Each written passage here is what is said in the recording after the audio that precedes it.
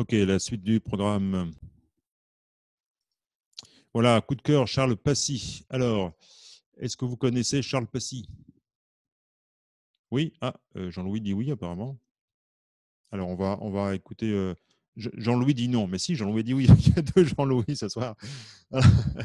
Alors, on va dire Jean-Louis le fatigué dit non. Et Jean-Louis, euh, non, je peux dire lunettes, ils ont tous les deux des lunettes. Allez.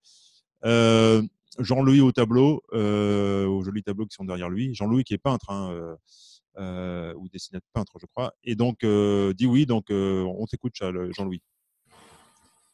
Enfin, je connais, je l'ai entendu, j'ai vu des vidéos de, de lui sur YouTube. J'ai trouvé ça effectivement assez excellent. Ouais. Et dans le même ordre d'idée, euh, il y a Christelle Berton que, que j'adore. Et je ne sais pas si tu as eu l'occasion de la faire découvrir aussi, mais c'est vraiment une artiste exceptionnelle. hein. Dans le même Alors, ordre. bah, puisque tu parles de Christelle Berton, j'en parle déjà dans un. Alors, je vais vous partager ça. Euh, alors, on va parler un tout petit peu de Christelle Berton, puis après, on revient à Charles Passy. Il y a Jean-Charles Piano, il y a, il y a, il y a plein de. Ouais. On va pas tous les citer ce soir. Parce que... Non, non, non, mais pour, pour dire, il faut aller voir sur YouTube des gens qui Oui, jouent. bien sûr, bien sûr, mais il y a. Si, je, non, si, cite tous les harmonicistes que, que j'écoute et que j'apprécie, là, là, il va falloir euh, demander à vos conjoints euh, la permission de, de 2 heures du matin parce qu'on n'a pas fini. Non, mais ok, bah, tu évoques euh, Christelle Berton, on va juste. euh, euh, bah, c'est une petite anecdote. Christelle, je la connais depuis très longtemps. Et, euh, c'est vrai que c'est une très grande harmoniciste. Et alors, justement, ce qui est assez amusant avec Christelle, c'est que j'en parle, j'en ai parlé assez récemment, effectivement. Non, pas assez récemment, assez, enfin, je dire, assez tôt.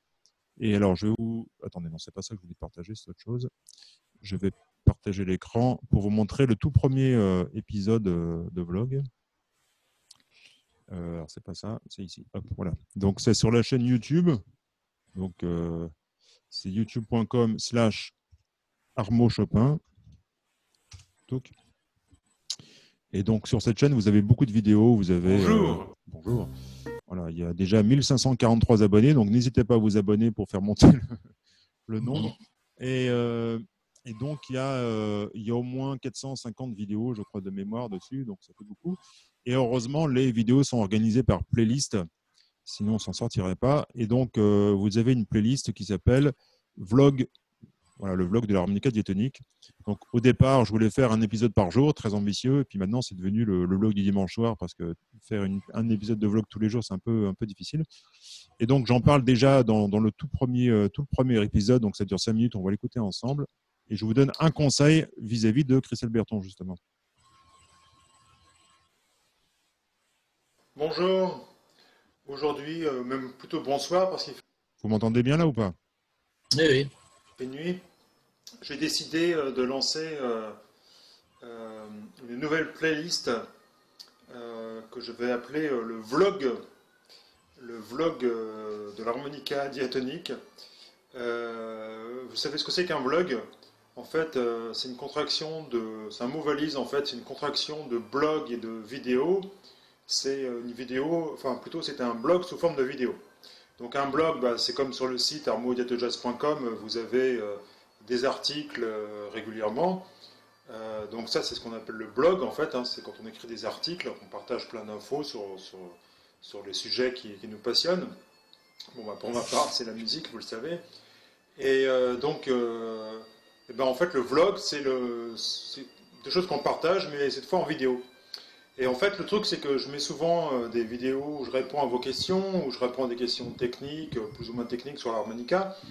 Et, euh, et en fait, là, j'avais envie de, vous raconter mon quotidien, parce que souvent on me dit, mais comment tu fais pour faire autant de choses?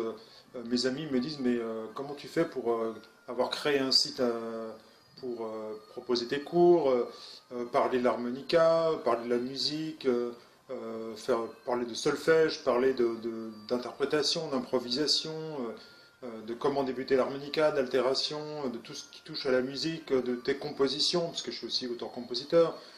Tu fais même du piano, tu, crées des cours tous les jours, tu, tu fais vraiment beaucoup de choses.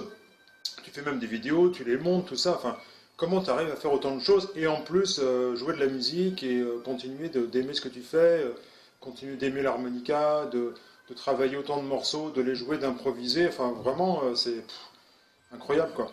Et en fait, ce que je leur dis, bah, c'est qu'en fait, je, suis vraiment à fond dedans, quoi. J'adore ça, je suis, passionné, mais ça suffit pas. Bon, ça, c'est bien de, dire ça comme ça, mais, mais qu'est-ce qui fait que, effectivement, qu'est-ce qui fait que je suis, je me sens musicien, je me sens, euh, je baigne dedans, et qu'est-ce qui fait que je, continue de, de, progresser en musique, de, découvrir de nouvelles choses, de composer de nouveaux morceaux, d'avoir de nouvelles idées? Euh, donc en fait, j'ai envie, puisque c'est euh, quelque chose qu'on m'a déjà euh, demandé plusieurs fois, c'est mais pourquoi tu tu nous raconterais pas un petit peu ce que tu fais dans la journée, comment tu organises ton quotidien, ce que tu fais, et du coup ça va peut-être nous donner une idée de ce qu'on ce qu'on peut faire quand on est musicien ou prof de musique, etc. Qu'est-ce que tu fais au quotidien quoi? L'idée de, raconter ce que je faisais au quotidien, ce n'était pas pour euh, que vous donniez prof de musique, mais c'était pour vous montrer euh, euh, ce qu'on peut faire justement au quotidien, c'est-à-dire au-delà des cours. Au-delà des cours, qu'est-ce qu'on peut faire au quotidien pour, pour progresser en, à l'harmonica? C'est l'objectif. Alors du coup, bon, bah voilà, donc je démarre ça ce soir. Donc c'est le vlog et je vais peut-être faire une vidéo par jour. C'est très ambitieux comme. une vidéo par jour, je vous l'avais dit. Non, non, très ambitieux le garçon. Bon, maintenant c'est une par semaine d'habitude. Euh, toujours aussi enthousiaste, je ne sais pas si je vais tenir, mais euh, voilà, ça me, fait plaisir de partager ça. Et donc ce soir, je vais commencer justement par vous expliquer que euh, pour jouer de la musique, pour progresser, bah, il faut souvent en avoir dans les oreilles, y compris parce que souvent, évidemment, la, plupart des gens me disent mais moi, j'ai pas le temps de faire tout ça. Mais en fait, des fois, on fait des, choses, on peut faire plusieurs choses à la fois en fait. Donc, par exemple, ce soir, je fais ma vaisselle. Bon, bah, j'écoute euh, de l'harmonica. Euh, en ce moment, euh, j'écoute des morceaux, des reprises par Christelle Berton. Je ne sais pas si vous connaissez cette harmoniciste. Pour moi, c'est vraiment une des meilleures harmonistes qui existent. Je ne veux pas me fâcher avec les autres, hein, mais je trouve qu'elle a vraiment un son. En plus, elle a l'audace de, jouer sur, sur plein d'harmonicas, sur plein de modèles d'harmonica différents.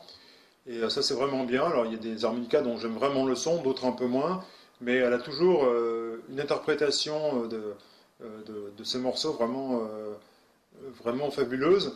Et en plus, elle s'est super bien improvisée. Enfin, c'est toujours un régal de, l'écouter. Donc, si vous n'êtes pas abonné à la chaîne de Christelle Berton, bah, n'hésitez pas à vous, vous y abonner. Voilà, donc, vous voyez, donc en faisant la vaisselle, bah, vous pouvez écouter de l'harmonica, écouter des, des, notes et vous dire Ah ouais, tiens, cet effet-là est pas mal.